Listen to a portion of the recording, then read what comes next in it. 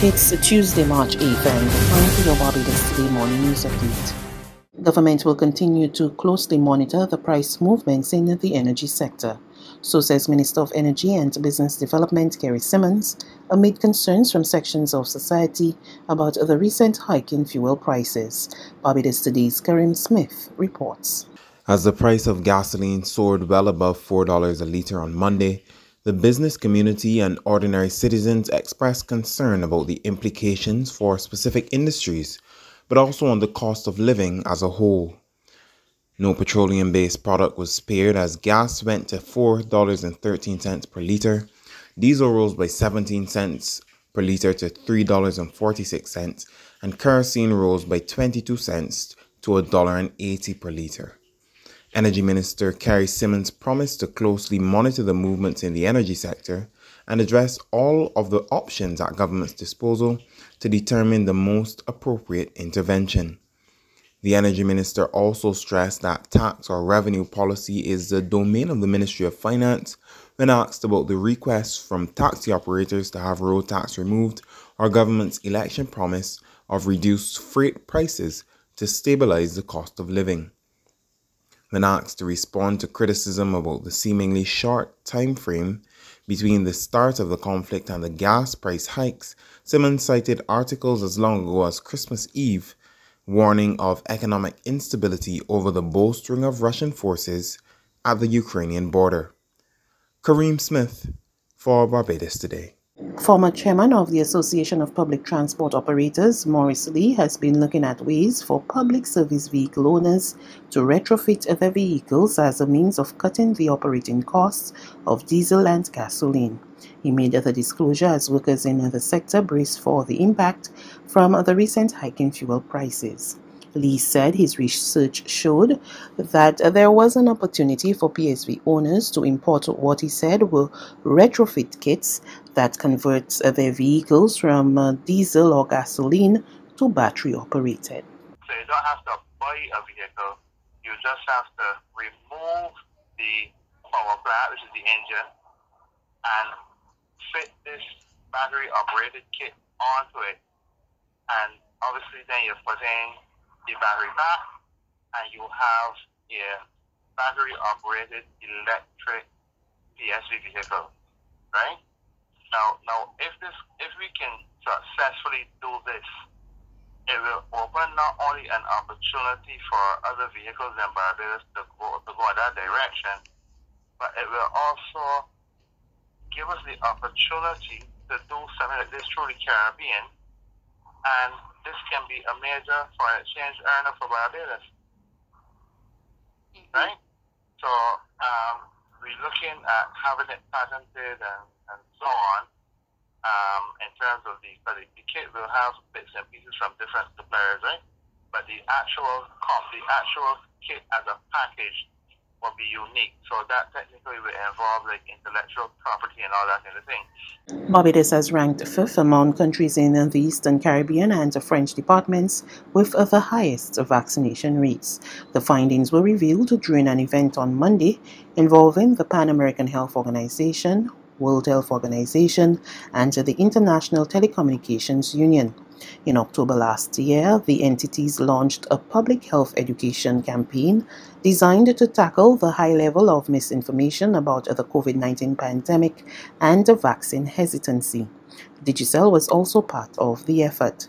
PAHO, WHO's representative for Barbados and the Eastern Caribbean, Dr. Yitades Gebre, said his organization was pleased to collaborate with the partners in an effort to help countries attain at least 70% vaccine coverage. The information has to continue.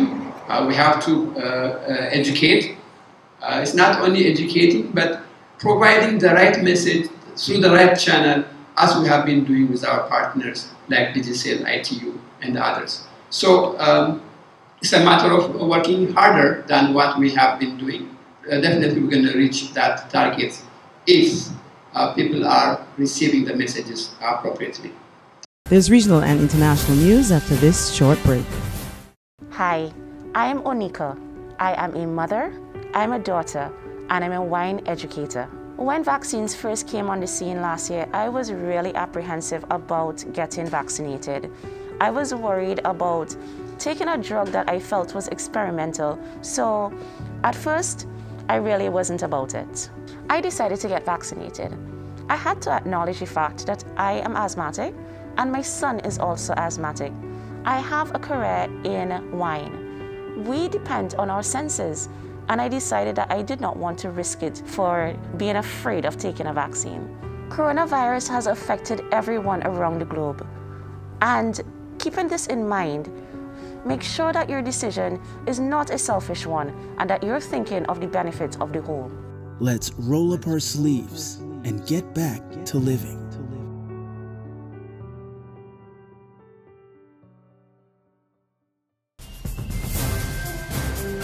To developments in the region, St. Lucia's Prime Minister Philip J. Pierre and law enforcement officials condemn the murder of an off-duty police officer.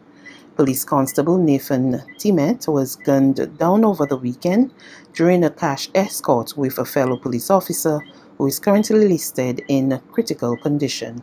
More from DBS News. Police Commissioner Milton Desir says that the killing of Officer Timet has sent a chilling message to the Royal St. Lucia Police Force and the St. Lucian public. It's just a sad feeling yeah, for the force and um, everybody sympathizing, especially with the family of a hardworking officer. I know we need to heighten in terms of the security of the state, but um, we are doing that. But however, what happened there, um, if at all anybody was not concerned, they need to be concerned now. Prime Minister Philip J. Pierre has also maintained a zero tolerance approach to acts of violence in St. Lucia.